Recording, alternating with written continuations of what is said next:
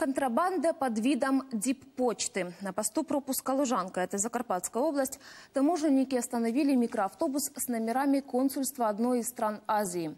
Водитель предъявил дипломатический паспорт и заявил, что должен доставить диппочту. Во время осмотра в машине обнаружили около 10 тысяч пачек сигарет с акцизными марками.